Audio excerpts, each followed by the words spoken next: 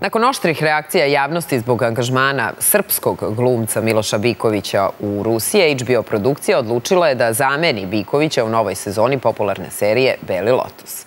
Biković se oglasio sa opštenjem u kojem kaže da se danas protiv njega vodi ciljena kampanja koja kroz poljni uticaj stvara ozbiljan presedan, bacajući senku na suštinu umetničke slobode. Mi vas samo podsjećamo da je HBO odlučio da isključi Bikovića iz serije nakon poziva Ukrajinskog ministarstva spoljnih poslova. Ukrajinci ga optužuju da podržava genocid i krši međunarodno pravo, kako oni kažu, i nazivaju ga Putinovim glumcem. Ovu vest, koju inače Ministarstvo spoljnih poslova Ukrajine postavilo na društvenoj mreži X, preneli su svi svetski mediji. Epilog znamo. I sad je pitanje kako je HBO poklekao pod jednom veštom propagandom Ukrajine. I gde se to Miloš Biković ogrešio Ukrajince? Kako je moguće da jedna od najuglednijih televizijskih kuća pogazi prvobitno sobstveni izbor u jednoj od najgledanijih serija zarad političke korektnosti, kako mi to nekako tumačimo. I ko danas i u čije ime odlučuje? Ko šta može da radi? Ko odlučuje šta je uvredljivo, šta je prihvatljivo? Da li će se u buduće poslovi dobijati angažmanom na društvenim mrežama i šta je kulturno u kulturi otkazivanja. Miroslav Lekić, reditelj i predsjednik Upravnog odbora Filmskog centra Srbije je moj gost. Dobro jutro i dobrodošli. Dobro jutro. Dakle, ste se vi iznenadili kad ste uh, pročitali? Dakle, uh, sve se dešava pa malte ne oko ponoći.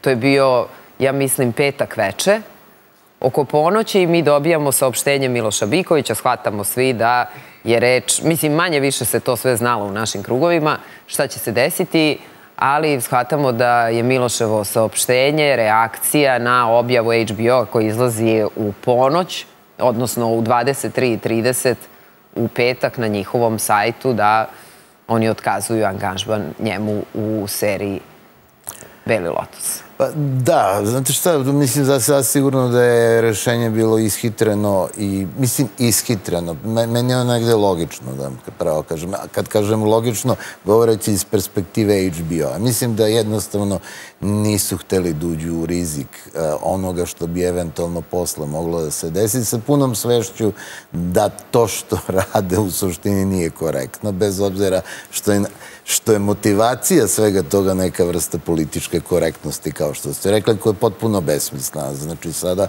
smo proglašili Miloša Bikovića za Putinovog propagandistu na osnovu stvari... Kako li kažu, ruski glumac srpskog porekla. Da, ovaj, nije osudio agresiju, ne znam šta se je sve mhm. navedeno u ovaj, u saopštenju i koji bih rekao jedan potpuno proizvoljan stav Ukrajinskog ministarstva koji Čini mi se da u sebi ima jednu potrebu da na svaki način ne samo da demonizuje, kako bih rekao, ljude e, koji su direktno vezani za rat, što je njihovo stvarno pravo, nego bilo koga koji ima bilo kakvu vezu sa Rusijom ili bilo kakvu e, čime. Mislim, čitav je to jedan trend koji se dešavao jedno vreme, naprosto poznati e, ruski operski pevači, baletani su bili skidani jednostavnim samo iz činjenice zbog toga što su imali ruski pasoš i nisu suviše deklarativno se izjasnili protiv agresije, kako je u tom trenutku traženo, su naprosto, nije im bilo dozvoljeno se nastupu. Ali smo isto tako vremenom pomislili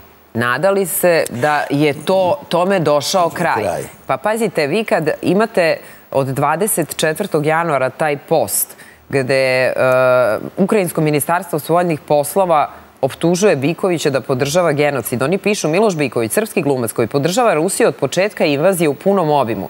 Sada će igrati u trećoj sezoni e, HBO-a Belog Lotosa. HBO, da li je u redu da radite sa osobom koja podržava genocid i krši međunarodno pravo? Pa, dakle, da vam kažem, ovo, ovo je potpuno ne, ovo je za film priča. Jest, apsolutno. Stvarno, neverovatno. Kako bih rekao, čak mogu kažem, jedan Gebelsovski komentar, mislim, cele situacije. Upravo jedan jako manipulativna stvar koja, kako bih rekao, sad je dovodi jednog čoveka u situaciju da naprosto a, ne samo što podržava, nego bi prosto iz ovog saopštenja čovjek mogao da stekne utisak da je bio i na frontu, mislim. I da Malte ne, da, da. Ovaj, da je direktno učestvovao u borbama. Kažem, meni nekako, igrom slučaja sam sa Milošem se nešto video pre možda nekih desetak dana i dotakli smo se bili desetak, petnesak i teme čak i ovoga i on mi pričao o nekim tehničkim stvarima koje su vezane za to i u tom trenutku je to delovalo prosto kako i deluje, krajnje normalno, narošto što su to jako ozbiljne produkcije koje ne, ne vrše angažman glumca i ne vrše pregovore dva dana uoči početka snimanja. Ma Miloš je sa njima dugo Nego tu jako dug period i to se sve jako veoma precizno i pažljivo planira. Mi kažem, delove je sve krajnje normalno, naprosto... Vi ste se u stvari pre 24. januara Pre nego što je izašlo saopštenje smo se vidjeli i pričali, tako da jednostavno nije, nije postila ni naznaka od svega ovoga što se sada desilo.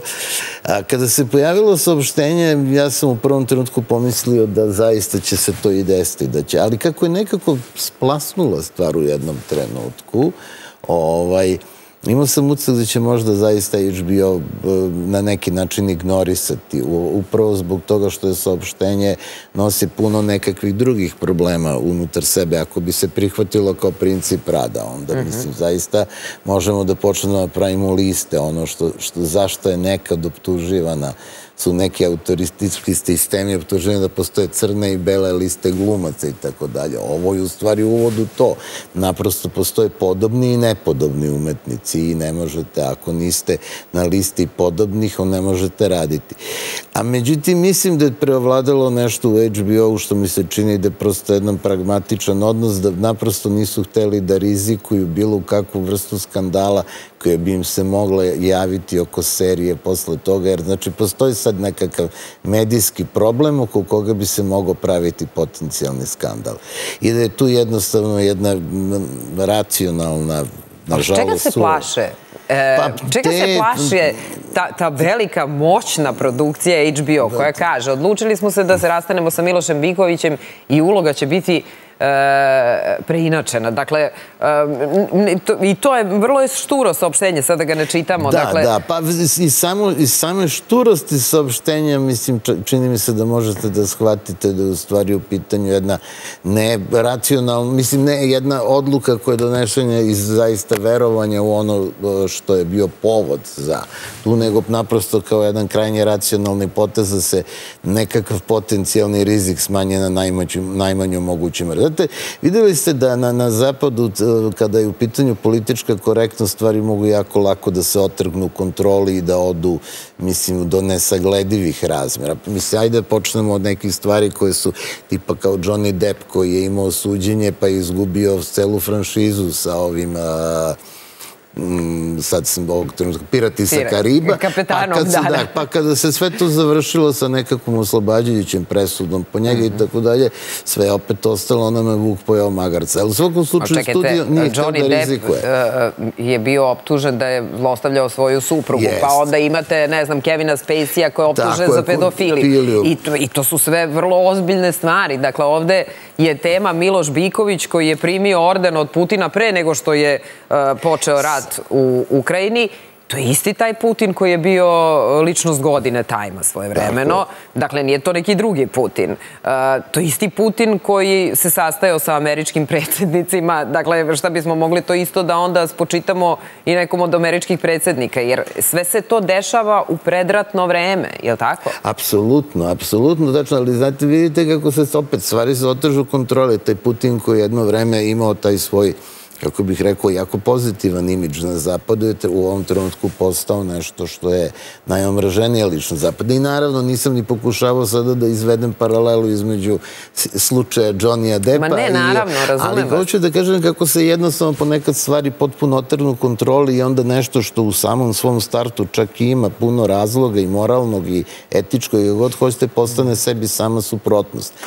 Tako je, prosto čini mi se i ovde. Ovde je jedna propaganda. Znate ono kako kažu u ratu, prva stvar koja gine u ratu je istina. To je znači u ovom slučaju. Znači, jasno je da Ukrajina mora da ima neka vrstu ofanzivnog propagandnog stava da bi održala uopšte situaciju koja je potrebna vezana za nažalost, ovaj, ratno stanje koje se tamo nalazi.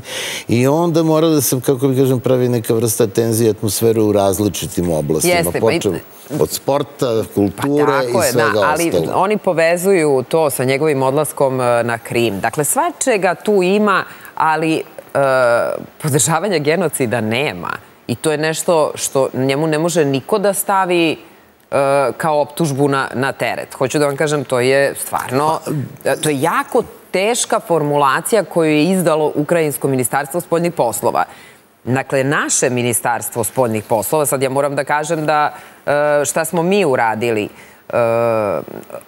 oni izdaju saopštenje, kažu da su ukrajinske tvrdnje neutemeljene, budući da je Miloš Biković pre svega jedan od najpopularnijih i najtalentovanijih srpskih glumaca svoje generacije, koji je, iako mlad, već ostvario i ostavio traga u srpskoj, ali i međunarodnoj kinematografiji. Želimo da podsjetimo da je ministar spoljnih poslova Ivica Dačić Milošu Bikoviću na dan srpske diplomatije 2019. godine udručio povelju zbog izuzetnog ličnog doprinosa u promociji Srbije i njenog bogatog kulturnog stvaralaštva uh, u svetu.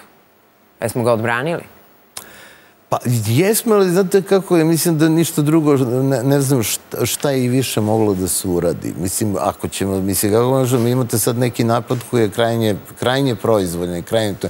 Na kraju kreva čak nešto što sam, nisam čitao da odmah da budem iskren, ali koliko sam čuo, čak ni uz, ni u Varetu ili ne znam gdje su se pojavili da, komentari oko toga, a, kako bih rekao, nema te decidirane osude Bikovića, nego jednostavno postavljena problema da li je to zaista tako ili nije tako. Oni kažu, recimo Varajeti konkretno, oni pominju Krim i naglašavaju kako Miloš Biković izuzev radne posete Krimu nije ni na koji način ugrozio Ukrajinu ili podržao rat. Ali isto tako se u raznim tekstovima stranim pominje i to da HBO nekada kuća na koju nisu mogli da se vrše ovakvi pritisci, pa podsjećaju vreme Sopranosa. Da, da, da, kada dakle, je italijanska zajednica protestvovala. Da, i kada HBO nije poklekao tada, jer se tada optuživala suštinski HBO produkcija da u negativnom kontekstu e, prikazuje tu italijansku, italo-američku zajednicu, kako oni e, navode. Dakle, tada oni nisu dozvolili da taj spoljni vetar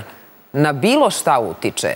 Da li se u stvari i vreme promenilo? A mislim da jeste, mislim da jeste upravo u tom, kako bih rekao, da, da, da smo došli u jednu mnogo više, kako bih rekao, zaoštreniju bipolarnu situaciju raznih stvari i da, kako bih rekao, da su sada neke, neke stvari koje se mogu izroditi iz ovakvih ekcesa mnogo opasnije nego što su nekada bile. Ja mislim da ovakav ekces potencijalni po znacima navoda unutar sebe nosi ogroman potencijal problema za HBO i da jednostavno iz čiste prevencije e, su odlučili da im je mnogo jednostavnije zameniti Bikovića nego ulaziti u nekakav potencijalni rizik, što je naravno krajnje nekorektno, ali mislim da je to prosto matematički presečeno u jednom trenutku i rečeno potencijal problema koji nam se javlja je takav, takav, takav i takav, potencijal problema u slučaju otkaza je takav, takav i takav Jeftinije nam je ovo, jel? Jeftinije nam je ovo i Platit ćemo koliko treba oštetu, evo. I završit ćemo tu priču na kraju kreva, to ipak samo neki srpski glumac, neće se oko toga mnogo u svetu dizati frke. Pa je li neće? I neće. I neće, jel da? E, ali pošto na naslovnim stranama, evo već dva dana je Miloš Biković na naslovnim stranama naših e, srpskih medija i sad ovde se piše, dakle, Biković dobija honorar, ne znam, nije važno, uopšte 30-50 hiljada evra, piše kurir, e, u slučaju raskida e, ugovora pred snimanjem. I sad pitanje je, u stvari, koje se i postavlja, da li će Miloš Biković e, pristati na odštetu ili će ići na sud. Miloš Biković je izdao saopštenje, stvarno onako, ako, ako možemo uopšte i da sad mi komentarišemo kakvo je to saopštenje, vrlo umereno, vrlo gospodsko, nekako vrlo dostojanstveno saopštenje. Napisao je danas protiv mene se vodi ciljana kampanja koja kroz poljni uticaj stvara ozbiljan presedan bacajući senku na suštinu umetničke slobode. Rezultat takvog narativa je triumf besmisla i poraz umetnosti. I sad on kaže, počasvan sam što sam izabran da budem deo White Lotusa, TV serije koju veoma uvažavam i uz kolege koje izuzetno poštujem. Ipak moje učešće u njoj nije moguće iz razloga koji su van domena kulture i ja se neću poklanjati narativu koji ugrožava moj integritet.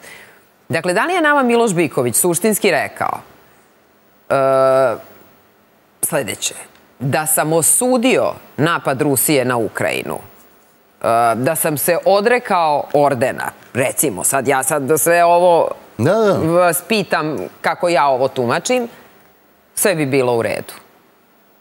Pa, zaista da, mislim, kako bih rekao da je Miloš Biković odlučio da ima drugu vrstu političkog mišljenja, a da je odlučio da ima, kako kažem, prvo nema ničega političkog u celom nastupu Miloša Bikovića. Apsolutno ne, ali da li mu se tražilo da se politički odredi? Ali se tražilo se od njega da se politički odredi ili si je kroz njega trebao da bude dan primer šta će vam se desiti ukoliko ne budete se ponašali onako kako očekujem ili kako budemo želeli. Sve jedno. Ovaj, I jedno i drugo je moguće. U svakom slučaju da je Miloš Biković imao drugu vrstu političkog stava, odnosno da je definisao, da ajde da kažemo politički stavi, da se odrekao ruskog ordena i tako da je, naravno do, do, do ovoga svega... Da bi sve bilo u redu. Da bi sve bilo u redu. To je ona priča što su tražili recimo i ruskim teniserima, je li tako, predodređena da, takmičenja? Da, moraju da ovaj, osude ovaj, agresiju na inače, da treba ih isključiti sa svih takmičenja i tako da. Odnosno, prosto uvođenje politike u svaku poru života, mislim što kako bih rekao, mislim da naravno nije nije dobro, ni korektno, jer upravo je ovo što i Miloš kaže, mislim, na, time se narušava neka vrsta integriteta i time se narušava nekakva vrsta čovekove potrebe, želje i mogućnosti da se izražava, odnosno mora da se svrstava, mora da postaje deo nečega, ne može da ostaje autonoma, nezavista, nema pravo na sobstveno mišljenje, ma njegovo mišljenje mora da bude usklađeno sa nekim prototipom mišljenja koji u tom trenutku na jednoj ili na drugoj strani poželjan. Prema tome, autonomnost, individualnost i sve to se jednostavno isključuje. I to je ono što Miloš i kaže negde u svom saopštenju, da prosto želi da sačuva nekakav svoj integritet i nekakvu svoju slobodu i uverenja, a bez toga da mora javno i, kako bih rekao, deklarativno da ih saopštava, ne bi li time učvrstio i poboljšao svoju situaciju. Ovaj. E sad, samo e, da zaključimo i zaokružimo priču o Milošu Bikoviću, pošto imam još jednu temu za vas. E, da li je ovime u stvari stavljeno do znanja Milošu Bikoviću da nije dobrodošao u Hollywood? Da li je ovo Hollywood? Da li je ta serija White Lotus zaista toliko popularna worldwide. To je serija koja jeste gledana, ali ne možemo reći da je u najvećem vrhu gledanosti na, na platformama. Dakle, da li se Miloš Biković odrekao karte za Hollywood? Da li bi mu ovo garantovalo uspeh u Hollywoodu? Da li mu je ovo s druge strane zatvorilo zauvek vrata dok se ne smire strasti političke između Ukrajine i Rusije? Ne, ne, ne verujem. Prvo, ne, ovo zasigurno nije lično. Mislim, kada govorim sa, sa strane HBO, odnosno, ajde da nazovemo to Hollywood, mislim. Pa je to Hollywood? Pa ne, ne nije, u pravom smislu reči, ne. Mislim, ipak to nije Hollywood. Hollywood je nešto šire, jače i moćni. Ne mislim da mu je ni karijera u tom smislu zatvorena. U svakom slučaju siguran sam da u ovim nekom narodnom periodu upravo zbog potencijala skandala koji se vuče, da neće biti ponuda novih. Neće, jel da? Pa to je neko moje mišljenje. Ne bih volao da sam u pravu, ali mislim da neće. A možda od Oliver Stone? Da, moguće u takvom nekom slučaju Možda Oliver Stone će biti u stvari... Opozicijan mainstreamu. Ovaj. E, sljedeća stanica za Miloša Bikovića. Ovaj, ali ne verujem da mu je na bilo koji način sada da je njegova karijera u tom smislu upropaštena, zatvorena ili... Ovaj. Drugo, kako vam kažem, mislim, Berli Lotus jeste poznata serija i tako dalje, ali Evo, imamo mi naših poznatih glumaca koji su igrali istak u nekim jako poznatim serijama i nije se tu desio nekakav, nekakva radikalna promjena u karijeri. Jeste, pa dobro, recimo Goran Bogdan igra u Fargo, Fargo da, i tako koja je bila isto jedna od on, da, jedna izuzetna serija. i oni dalje najnormalnije rade i tako dalje, ali nismo videli sad nekakav enormni hollywoodski proboj, što ja ne mislim da je, kako bih rekao, stvar da je Goran Bogdan loš bio u Fargu, naprate u Fargu je bio izvanredan, pošto sam gledao ovaj to. Mhm. Ali jednostavno, mislim, prvo treba da budemo svesni da tu postoji određena profilacija likova koje mogu igrati, mislim, govoreći izbog jezika, akcenta, svega. I uglavnom je to neko, eto, Rade Šerbeđ, ja naš vrhunski glumac, u stvari usavršio taj tip ruskog mafijaša po kome je postao u stvari velika hollywoodska zvezda. Ili poznata hollywoodska zvezda. Da, i u stvari je i Miloš Biković trebalo da igra Rus. Isto ruskog Mislim, instruktora. Mislim, kad smo već kod Rusa. Da, jeste, da. kad smo već kod Rusa i Miloš je trebalo da igra e, Rusa. Poslednji put smo se vi i ja videli u istom ovom studiju dan pošto je e, preminuo Žarko Laušević. Da. E, pričali smo o njemu i tad smo pričali i o tome da je u stvari film koji ste vi radili sa Žarkom i Žarko poslednji film koji ćemo uskoro moći da vidimo. I 3. mart, u stvari, otvaranje... Zatvaranje e, festa. Zatvaranje, pardon, e, festa je e, premijera... Da, premijera filma. Da. Da, da, treći... Isto ima veze s Rusijom. Samo u naslovu, jel da? Samo u naslovu. Da, da, šalimo se inače ovaj, sa time da ćemo možda za bilo koju vrstu prikazivanja filmu u inostranstvu morati da menjamo naslov. Da stoji samo konzul. Da samo konzul bude. Jer ovo ruski znači automatsko zatvaranje vrata u nekim sredinama. No, šalu na stranu. Da, do trećeg je premijera, zatvaranje festi i film počinje taj neki svoj. Pokrećimo sada sa onim ciklusom standardnih premijera. Počet će u bioskopima dva dana kasnije ovaj, i vidjet ćemo. Jel ste zadovoljni kako je to sve na kraju ispalo? Jesam, jesam, jako sam zadovoljan. Ovaj, kako bih rekao, s jedne strane, jako sam zadovoljan svim tim što smo napravili, a nekako, ajde, nazovem to umetničkom smislu. Pa, dobro, da, ne, to je ovaj, Imao sam zaista sjajnu ekipu glumaca, saradnika uopšte i mislim da to je jedan izuzetno ovaj, složen i zahtevan glumački film sa fantastičnim ulogama zaista vidjet ćete onda neke, mislim da su neke glumce koji nisu kod nas dovoljno poznati, mislim da će ljudi moći da otkriju. Jako su interesantni ti glumci koji igraju Albance, izuzetno, ovaj, izuzetno kvalitetni i dobri. A, S druge strane, mislim da smo ovaj, uspeli jednu temu koja je jako dugo već u centru pažnje, u žiži pažnje, mislim, srpske javnosti opet uspeli da obradimo na jedan zanimljiv način, a da u stvari kroz neku vrstu vraćanja u prošlost objasnimo mnoge stvari koje se dešavaju danas. Naš film se dešava 73. godine i završava 83. pre nego što je ekskalirala na ovaj način kriza na Kosovu, ali mislim da smo kroz film uspeli da, kako bih rekao, negde diagnostikujemo neke stvari koje su dešavale, Ovaj, I ne da ponudimo rešenja, pošto je to nemoguće, niti je to, kako bih rekao, u jednoj formi kao što je film bi bilo moguće, nego da, kako bih rekao, damo, odnosno postavimo neka pitanja na koje ćete kada izađete iz sale sami sebi morati da odgovorite. A verovatno će svako od nas imati neki svoj drugačiji Neki svoj, apsolutno, e, mislim, stavi odgovor.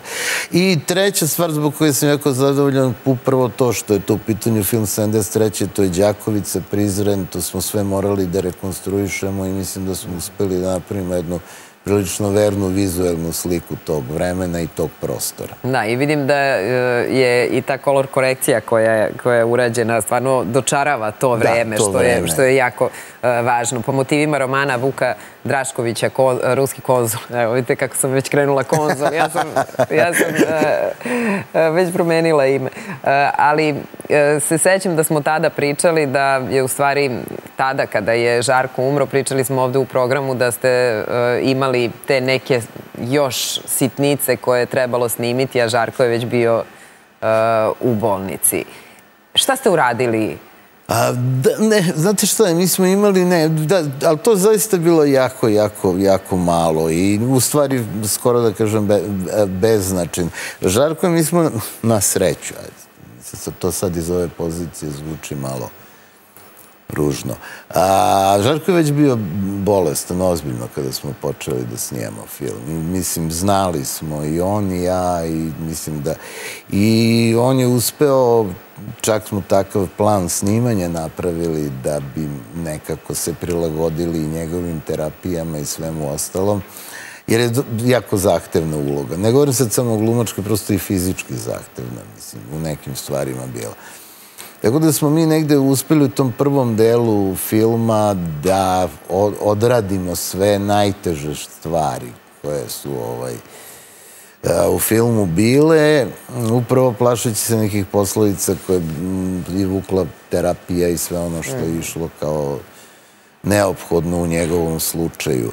Ovaj, te neke sitnice koje su kod nas, mnogo je veće, mislim, mnogo veće, ali to je, posle Žarkov još radio Kalkanske krugove, je snimao i tu je čak ostalo nekoliko nesnimljenih dana i on je, pa ja mislim, ne više od deset dana pred smrt otišao u studio da bi neke stvari dosnimio ovo je u Kalkanskim mm. krugovima. Ovo je tako da to, to je prosto bio njegov život i on je to tako na kraju krajeva je sa tim i otišao sa ovoga sveta. Tako da, eto, šta znam, ja i ponovo sad, pošto smo da, pričali dan posle njegove smrti, evo sad se približava taj 3. mart, to ja nekako gledam kao neku vrstu ponovnog susreta. Mislim da ćemo se sresti ponovo, bez obzira koliko on zaista svakodnevno prisutno u mom životu. Ovaj, ali to će biti neko mesto gde ćemo se opet zajedno naći da... Ovaj... Pa da, ja sam vas tada zvala ne kao njegovog saradnika, nego kao njegovog prijatelja da. Uh, u, u naš program da, da pričamo o Žarku. Tako smo to, tog jutra baš pričali uh, o Žarku i verujem da o Žarku i dan danas svi pričaju. Da, dakle, kad je reč o uh, filmskoj industriji, o glumačkom poslu, Žarko je neko koga ćemo pominjati još dugo. Da, još dugo, još dugo, još dugo, da, pa evo, vidjet ćete i posle trećeg ove. Mislim, to opet jedna, pitaju me povremeno kakva je Žarko Ula, pa kažu, mislim, kao i sve. Mislim, genijalna. Kakav je on, pa genijalan. Da, genijalan, kao i uvek, da, znači, eto, to je odgovor. Da, i pravo da vam kažem, jedva čekamo. To je e, treći mart, to je nedelja, je li tako? Da, nedelja, jeste, jeste nedelja. Ovaj, gde, gde će biti film? E, pa bit će u dvorani doma, odnosno MTS dvorani, pardon. A, ovaj, pošto Sava centar još uvijek nije da. završen, fest se još uvijek održava u MTS dvorani. Ovaj, I tu će biti premijera, posle toga sutradan idemo u Novi Sad, a onda kreće u normalnu distribuciju i to sad već. I već onda u bioskopima, da. Mnogo vam hvala što ste došli i hvala vam što smo e, pričali na, na ovu temu i nekako mi se čini da malo je, malo je onih koji bi možda uradili drugačije nego Miloš Piković e, u ovoj situaciji. Da, da, to sigurno. 那